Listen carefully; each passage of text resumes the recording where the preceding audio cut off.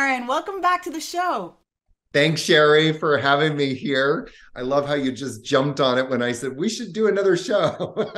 we were definitely due to do the part two, but you know that means there's gonna be a part three and probably four, and this this is just gonna keep going. So so happy to have you back. You know, you're one of my mentors. I look up to you. I love what you're doing, and I think the last time you were on the show, I don't think you had released Stop Stretching yet both the no. podcast and the book. So you've got a lot of things going on right now. You've been super busy in the last year and a half. So, first of all, Yogi, Aaron, welcome back to the show. Thank you so much for being here today.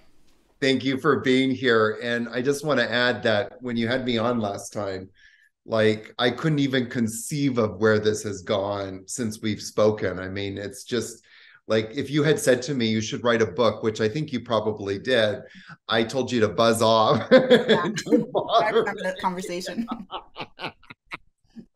I'm so glad you did. So so you so you wrote the well you started first i think the podcast. We launched the podcast first. And what yeah. was the impact of that? Because you're you're breaking like massive barriers here. You're telling people to stop stretching and not just i think the yoga world but also the whole fitness world. Mm-hmm. I, I mean, the reaction is multi-layered. I think that there's a certain group of people that are just so identified with needing to stretch that you know and that that's part of who they are. That's their makeup. That's their business whatever. And so it's very threatening to some people. Some other people treat me like a you know their old grandmother that says mm-hmm. something cute and they like here's a shawl for you you know cover yourself up stay warm but there's also a, like a huge swab of people that are like experiencing what I've experienced, which is just persistent injuries over and over and over. And, you know, one of the things I've been reflecting on a lot, especially the last, you know, as I've been doing a lot of interviews since the book came out, but how many times I went to my yoga teachers and, um, or even fitness trainers and said, you know, I'm dealing with this chronic back problem oh, and they would use words consistently like we need to open the hamstrings or we need to open those lower back muscles. And I'm just, now that I know what I know and I see things through the lens of muscle function, I'm just like, how can we keep, we got to stop saying this sort of stuff because it A, biomechanically doesn't make sense. But B, you know, if we open the hips, for example, then we're just talking about, oh, we need to dislocate our hips because that's what open hips really means is dislocated hips. And I know so many yoga teachers um, who have spent their you know careers opening their hips and now have had you know hip replacement surgery so right. we need to stop opening the hips right right you know I, I'm, I'm so curious and as we get into this a little bit more i, I always kind of ask myself where did where did this all start and i'm so curious as when to this whole this emphasis on stretching became the thing? Why did we start to incorporate that and make that such a such an important part of our training routine or such an important part of yoga? Do you know a little bit about that, Aaron? Like why did why did stretching become such a vital component of our health and fitness? I think that I mean it's a I think it's a bit of a complicated answer because you and I think that there's a lot of things that have contributed to it.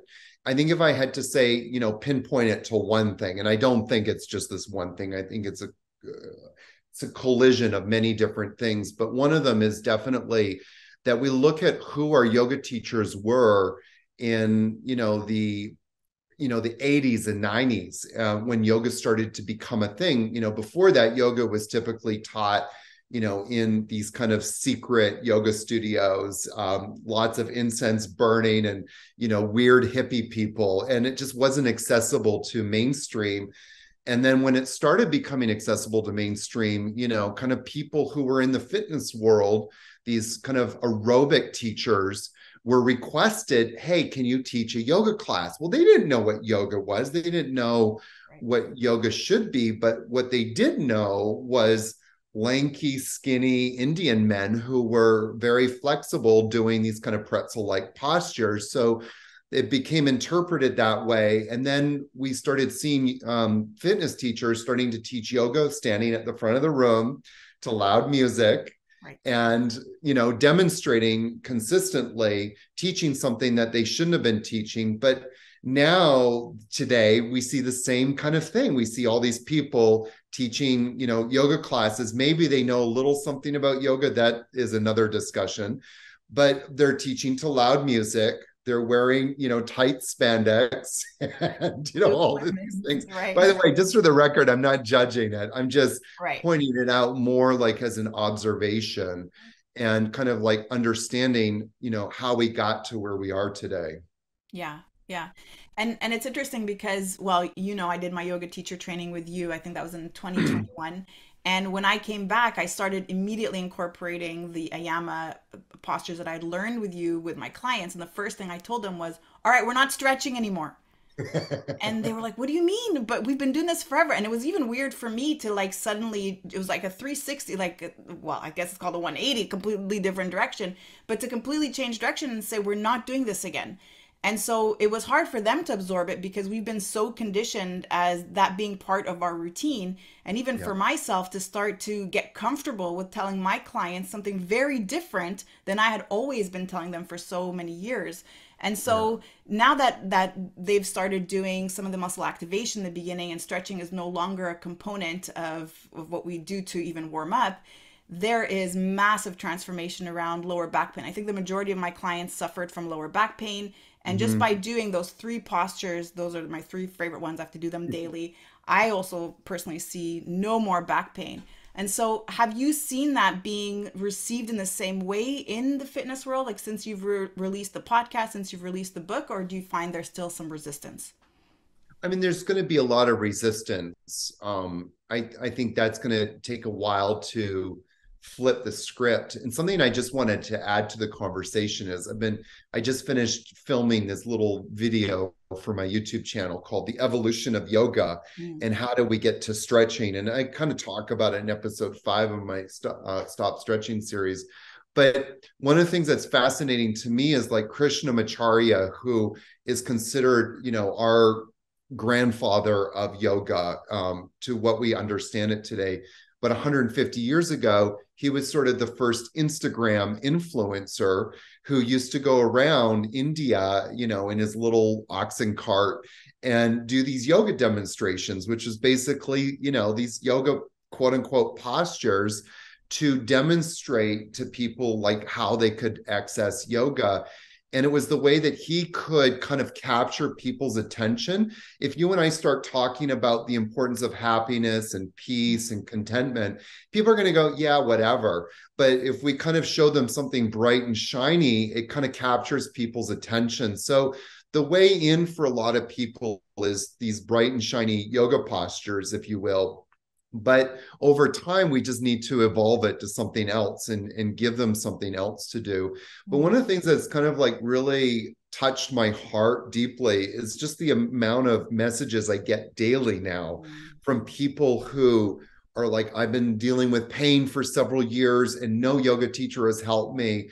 This stuff is you know starting to make sense. I'm finally getting relieved after being years in chronic pain and it's not just like one or two it's like consistently now um, that people are doing that. But you know one of the reasons why sherry i decided to write the book and do the podcast and start making noise about it was because in my teacher trainings as you know um, you know, usually by day six to day 10, everybody becomes pain free. Mm-hmm. And that was kind of like a big kind of light bulb for me to see that. Because usually I would have somebody have some issues and we would stretch it out. But of course, the issues always came back. But then doing this has kind of seen me get people, see people get stronger and stay strong, which is where we want people to be. Yeah.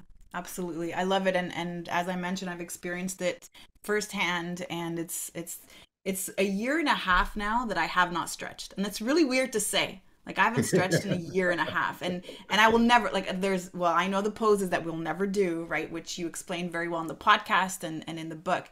And you know, Aaron, you've said several times I think I've heard you say that this is this is your life's work, I think correct so i don't put i don't want to make sure i'm not putting any words in your mouth but i've heard you say that and i'm super curious why is this message so important to you that's that's i mean that's multi-layered um i have always strived since I was like as young as I can remember, like 13, 14, 15 years old, have been fascinated by this idea of life purpose. Mm-hmm. And I think, you know, in the translation of of the Radiant Sutra, not the Radiant Sutras, the Yoga Sutras by my teacher um, Pundaji says the greatest loss in humanity is a person who doesn't know their purpose or who hasn't lived in purpose. It's the greatest tragedy. Um, and I I really believe that. I believe that, you know, I've lived a very purposeful life and um, it's what my purpose is is multi-layered, but one of those is like creating or holding space for other people to kind of melt into their own, you know, sense of purpose. And so that's one part of the ayama philosophy. But the other part of it is also living pain free so that we can live our purpose. And I have had to deal with pain, chronic pain for 25 years of my life. Um, that, as you know, led me to a surgeon's office saying that he might have to do a spinal fusion, which thank God he, you know, still hasn't um, because of these practices.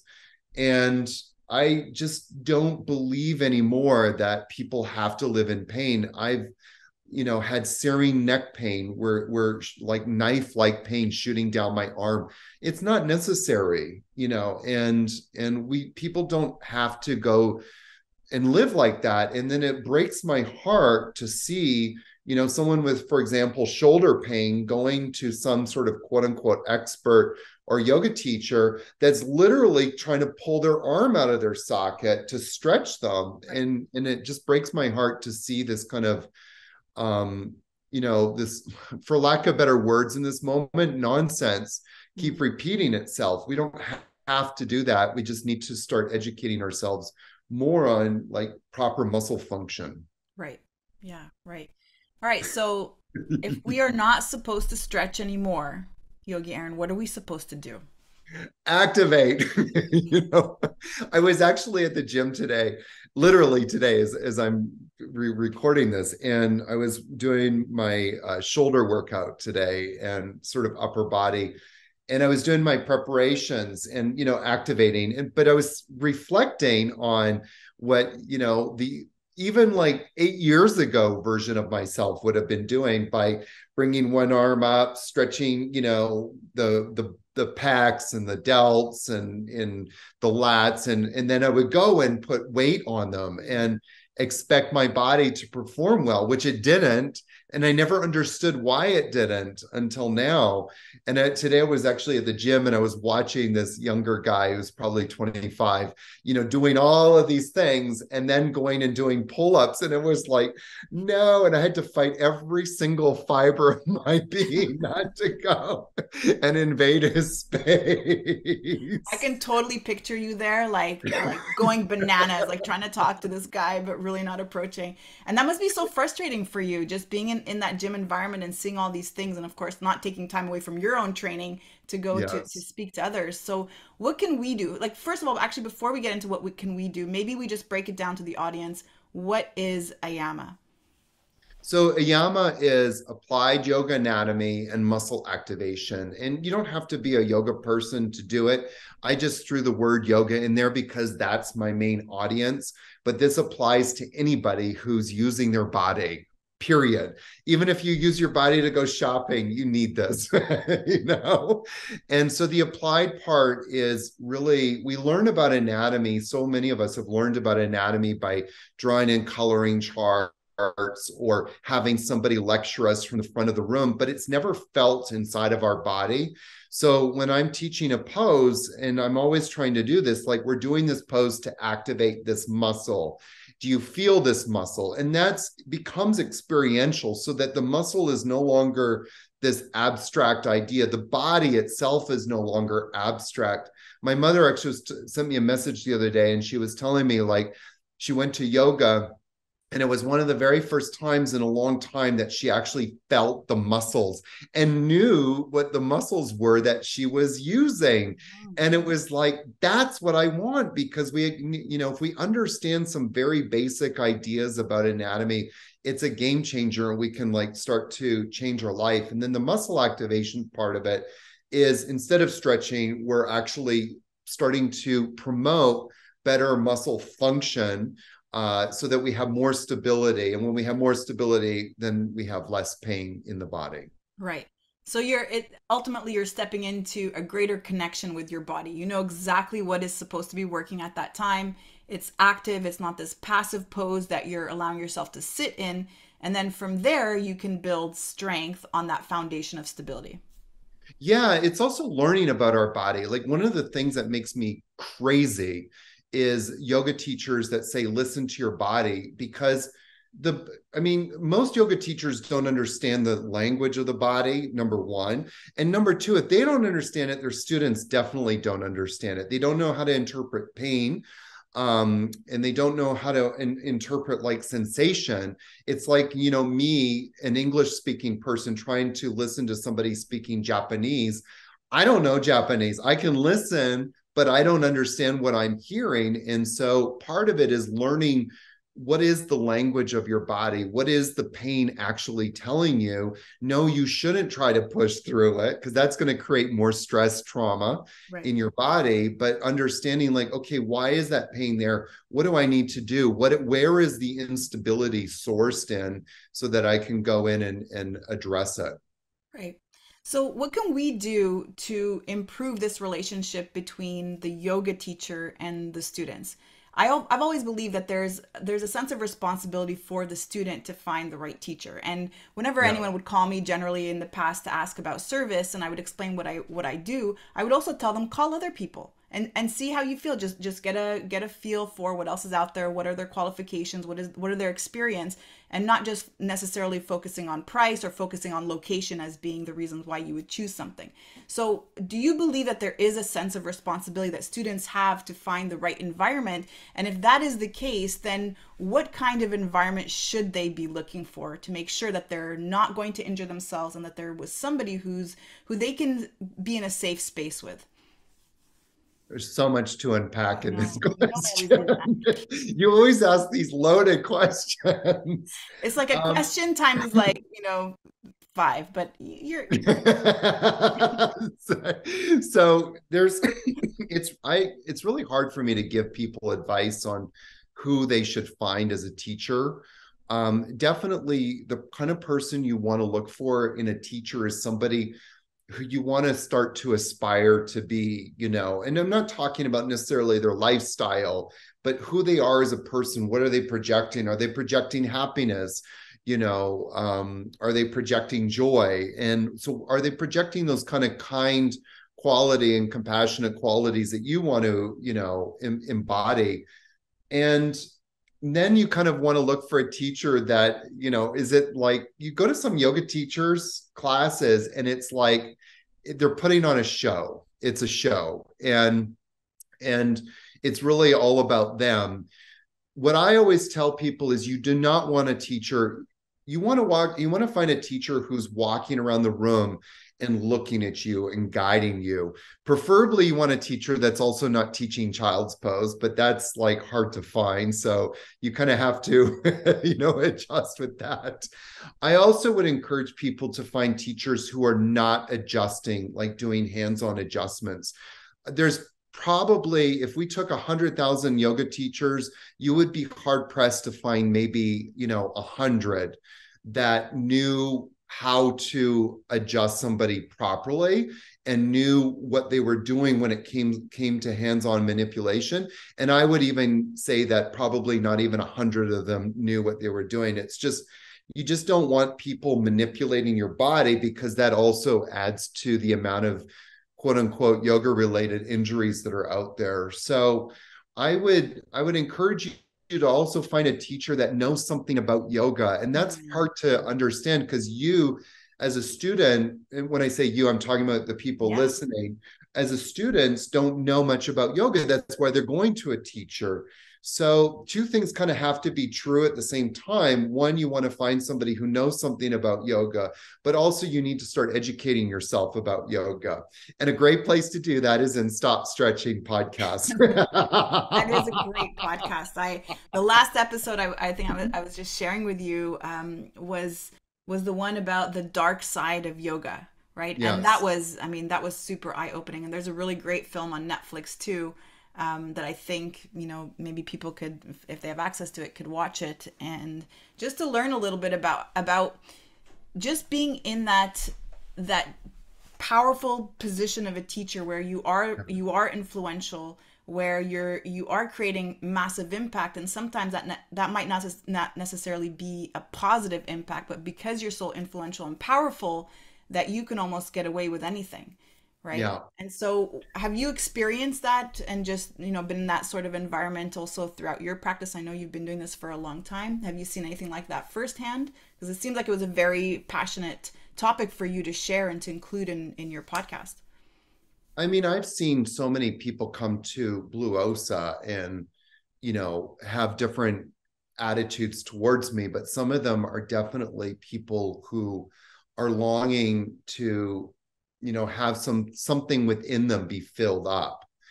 And um and it you know as a teacher and and my you know i've had colleagues and i who have gotten into big arguments about this and said you know it's it's the job of the teacher to be very aware of it. And yes i think that can be true.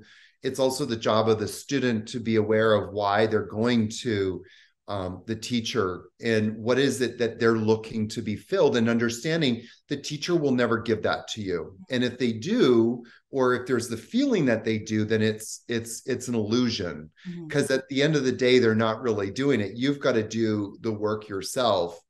And i think that's what we need to be preaching you know with all of this kind of conversation out there about abuse and yoga we've never talked about what are students really looking for I think that also has to be part of the conversation and really like educating people at least I don't know if that's the right word but but putting it out there for people to understand what is it that's missing in me that I'm looking for and understand that I will never get that in another person. I have to find it on my own. And and I've just seen I've seen it time and time again. And is I always warn my yoga teachers in training like, as quickly as a student will build you up, they will tear you down even faster. And we've seen that play itself out a lot in the yoga world. But i've also experienced that numerous amount of times. You know i've had people be the most devoted people i think there was actually a person in your training that was like that and then all of a sudden it's like something just switches and and they want to tear you down because they're disappointed that their own expectations were never met. It's not my job to fill expectations for a student. My job as a yoga teacher is just to guide people in yoga. You know, hey, guys, we're going to sit here for five minutes and breathe. And I want you to breathe in this way. In this, in in this way, my role then is to hold a safe mm-hmm. and compassionate space for the students to evolve in their own uh, process, but it's not my job to fill their their expectations um, or or play some sort of other role for them. You know, and, and I don't know if there's people that are listening to this, but I always tell teachers like separate yourself from your students so that way your students understand that there is a line um, of and you can call it many different words but one of them could be professionalism it keeps mm-hmm. that professionalism um, very, very, very clear and clean. We like a clean space, right. no agendas. Right. There there definitely should be some set boundaries. And by the way, Aaron, I think you do a great job in holding space for people. And I remember one of the first things that you share with people is really to not have attachments. You're here to transform from the inside out. It's not it's not holding expectation on on the place on on what you're going to be taught. It's it's really your own transformation. And I've been there now twice and I've seen both times by the end. I mean, you've also seen me fall apart by the by I think it was like day 12 usually, you know, but because I am transforming, there's there's something that's happening from from within me and I actually come without any expectations. I have no idea what's going to go down and and whatever is supposed to transpire is going to. And I don't know what I'm I'm really going there for, but I know I'm going to leave with exactly what I need and I think just to your point about having a mentor, that ends up being the danger is that you think your mentor is going to guide your life. But the truth is, you're going to guide your own life and the mentor is only going to put a mirror in front of you it's it's a reflection of who you are and what you really want to create in your life ultimately that becomes your guide and so it's a great sense of responsibility too as as someone's teacher or someone's coach to feel that you are responsible for for their transformation. And it's definitely something i always you know say to my athletes when they thank me for their transformation i remind them that it wasn't me it was actually you. Like i showed you the tools and you did the work. And ultimately i think as as fitness teachers as as yoga teachers um, as anyone who's in that mentorship state that's that's ultimately the message is that the transformation is really coming from the students end. Absolutely. It's it's all about the students. And again, we're just like, you know, it's like um I kind of like think about it like we're in a dark forest, you know, a pitch black forest, and the teacher is holding the light, mm. and the teacher says, You can go down this path, this path, or this path. Mm. And if you want to, you can find your own path. But this is the these are the three that I suggest, you know, but it's your choice. You you have to walk down it and i think a lot of people in the world don't even start walking. Yeah. and and you know every time i hear this kind of like it's your own practice do what you want to do what i kind of sometimes in translate that is is people just like well i don't like those three paths. I'm going to take my own. It's like okay goodbye. You know you're right it's your journey it's your life. Um but uh, as teachers, our power as teachers comes from that direct experience of our own practice. Mm-hmm. And if we can cultivate that own like inner knowingness, I call it, um, you know, that direct experience of oneness, then it informs the way that we teach. We teach from a very different place. It's no longer like guessing, you know, the path or it's guessing the practices. We know you know what we know because we know i know that these ayama practices and muscle activations work because i've done it and i can speak from that authority.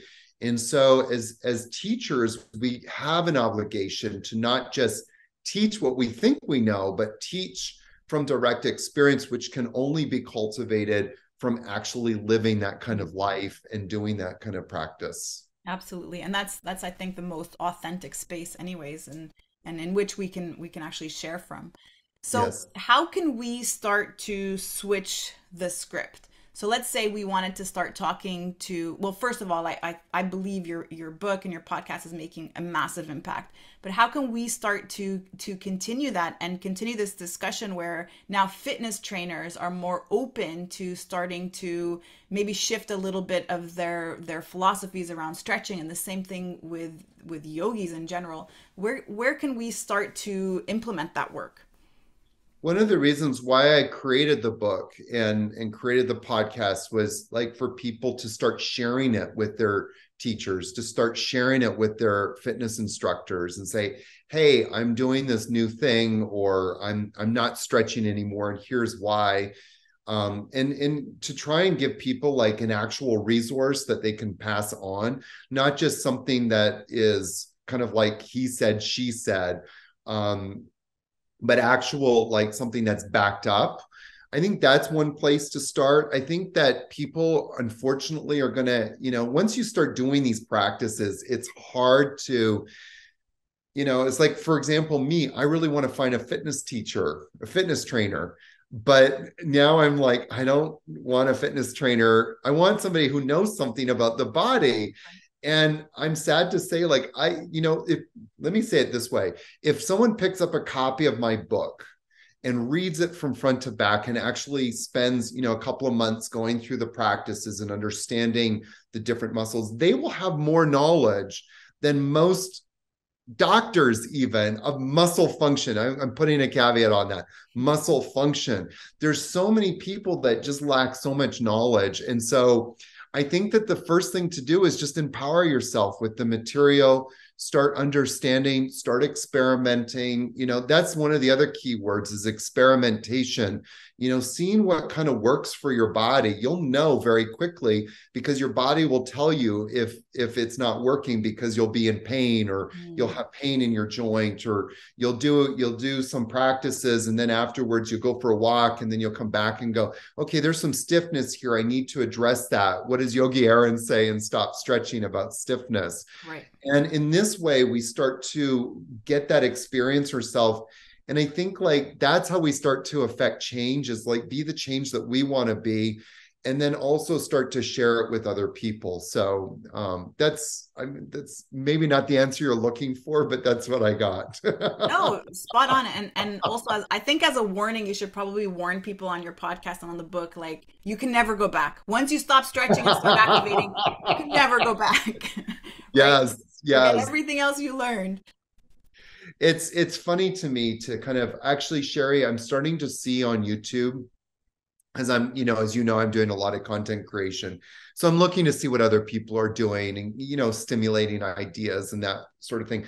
One of the things i find really fascinating is how many people now are starting to put this out there and actually telling people to stop stretching. So it is out there but there's still this addiction to the stretching part. It blows my mind like you know this one one uh, yoga teacher i'm i'm following on youtube uh, again more for inspiration but i also like the way that she puts together content but she'll sit there at the beginning of the video and rattle off all these statistics about how stretching is hurting people. And then she's like but we do want to get more range of motion in our hamstrings you know and it's like why? Like right so there's this addiction to stretching and in even people this is what blows my mind to be quite frank is like once people understand muscle function in these industries they go back to yeah but then we have to defy muscle muscle function and then let's elongate these muscles. And it's mm-hmm. like no that's not their job. Their job is to shorten not to elongate. Anyway yeah no you can tell i'm passionate about it. Not at all. No it doesn't show. So so someone listening who's who's like well you know i i do ballet or i do pole fitness or i do gymnastics or i do a sport that requires flexibility what is what is sort of the support that you can share for them so that they don't injure themselves but they can still continue to have that range of motion that they need for their sport and then you know activate at the same time well, it depends on who we're talking about. You know, I think that's important because when you're 16, 17, 18, you know, and you look at gymnasts right. and you these kids, they they need range of motion, but the thing is that real real range of motion and when the way i define range of motion the way that that we define it in sort of an ayama philosophy if you will real range of motion is when you have range of motion um, you have you know you have movement at a joint but there's also stability. That means that when you bring your arm to a certain place that you need it to be there that you actually can hold it there and and the muscle can contract properly. It's contracting and contracting on demand. But if you just kind of force a range of motion there's no stability. There's no accountability there's actually this woman, um, her name is Sue Mayes, and I believe she's the director or was the director of the Australian Ballet Company. Mm-hmm. And she actually said that we have eliminated the word stretching and flexibility. And the way that she gets her her gymnasts, sorry, her ballerinas to open up their range of motion is actually through getting the muscles to work properly. And sometimes they use the word dynamic stretching. So an example of dynamic stretching is if you're standing and you're like a ballerina and you bring one leg up, a lot of people will grab their foot and try and bring the foot up as high as they can. So you're forcing a range of motion, but it's coming from an external source, this being your hand. But what you really want to do is just keep working the leg up on its mm-hmm. own, you know, and, and so now you're using the muscles to lift the leg rather than lifting from an external source. So mm-hmm. that's like the best way to start building range of motion. And, you know, for a lot of people that go, well, gymnasts, you know, they have all kinds of strength and power and blah, blah, blah. First of all, yeah, they're 16 years old. Right. Hello. Like At 16, we all had that kind of, you know, mobility and strength if it was cultivated. But second point, and this is the most important point is you never see a gymnast surviving past 22 right. 24 maybe 26 i mean you look at simone biles i think she was 25 or mm-hmm. 26 mm-hmm. and look at the breakdown that she had and you know whatever aside the point is is that that beats our uh, beats us up at a neuromuscular level and there's a price that we're going to pay and you never look at like even like a bunch, a lineup of gymnasts who are 20, 22 years old, they all have ice bandages, you know, ice packs, heating packs, you know, wraps around their knees because there's so much instability that was just forced by overstretching, by creating ranges of motion that, that wasn't done with any sense of accountability. So when we're working on opening up range of motion, the, the answer isn't through stretching. The answer is through improving uh, the muscle function um, of the muscles that are supporting that joint. Wow, so well said. I love that. Wow. So is there anything else as as we're just nearing the end of of our time here together today, just for today? Um, is there anything else that you want you wanted to share? You and I can talk a lot about. I know, so can I. I'm like, what? Like, how did we already record 35 minutes? Yeah. So no, I I just really want to tell people, like, first of all, get the book. It's on Amazon. Um, it'll change your life. Um, second of all, you know, just take commit to taking like 10 minutes a day I mean, once you start doing this stuff, you start understanding, like, oh my God, I actually want to do more because it feels good. A lot of people don't like to quote unquote stretch because it actually causes them pain. I mean, you look at like people with with tight hamstrings, but just taking 10 minutes a day to do these muscle activations, you'll have more mobility, more range of motion, you'll have more strength in your body, and you just feel better, you know, and you move through life easier. Mm-hmm. And then if you move through life easier, you're just happy. yes, yes, absolutely. So if somebody wanted to reach out to you, Aaron, where can they go to do that? And, and where could they go to find your YouTube videos as well? So go to my YouTube channel and just search Yogi Aaron. Aaron is with two A's, A A R O N. Um, they can also go to my website, uh, yogiaaron.com uh, again, to Ace. And um, you can also, again, find my book on Amazon. Just search Stop Stretching. In fact, if you Google search Stop Stretching, you'll probably find me plastered everywhere. Amazing. Thank you so much for this conversation today, Aaron. I loved it. Thank you so much for having me back, Sherry. Can't wait to have you back at Blue Osa next year. Yes, coming soon. Can't wait.